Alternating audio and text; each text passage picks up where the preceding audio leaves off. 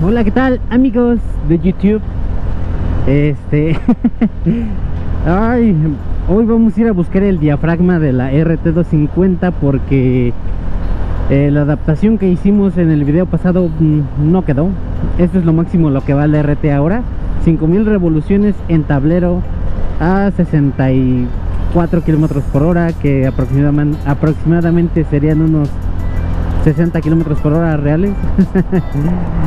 Entonces pues no está cagado eso. Así que vamos a buscar el diafragma para cambiárselo y pues ver el, resultado final no de, de, la modificación que le hicimos a, a la spray amigos. Así que pues quédense amiguitos. Y vamos a reparar la RT y como siempre pues los traigo a mi refaccionaria de motos favorita aquí en San Pedro. Que ojalá y tengan lo que necesito caray.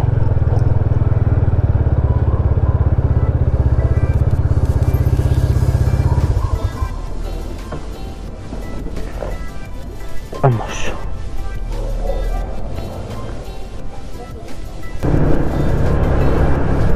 Listo amiguitos pues ya no les enseñé la reparación pero ya quedó eh, conseguimos un este un diafragma de, motoneta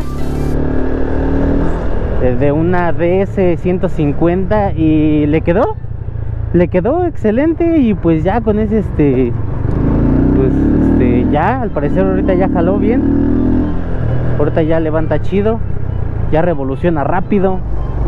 Entonces ahora sí vamos a, a probar este la modificación que le hicimos al spray. Ahorita vamos a salir a, a Toyocan y ahí le vamos a dar duro contra el muro.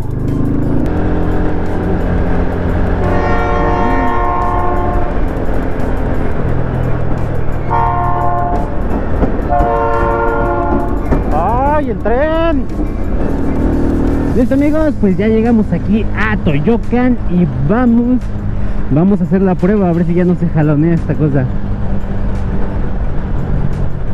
Con que me mantenga en los 100 kilómetros por hora constantes ya con eso la con eso la hacemos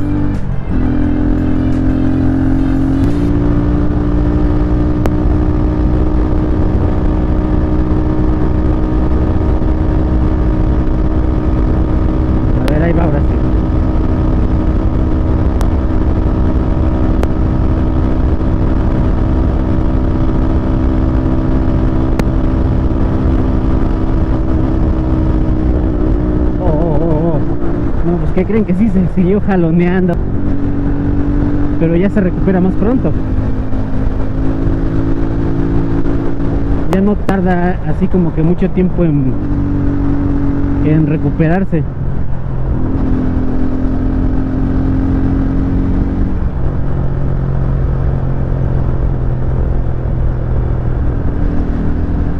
Creo que aquí ya es cuestión más de de carburación hay que abrirle un poquito más a la a la esprea de, de aire.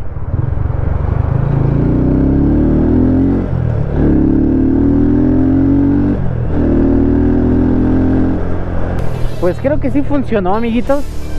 Sí funcionó y este y pues sí se jaloneaba pero tardaba tardaba mucho tiempo en, en recuperarse y ahorita pues ya, ya no, o sea, se jalonea, pero inmediatamente que uno deja de, acelerar así al máximo, pues ya se, se recupera. Y es que creo que todavía estaba un poquito, ah, fucking shit, estaba un poquito acelerada. Vamos a bajarle un poquito ahí a la, a la aceleración. Y vamos a volver a intentarlo.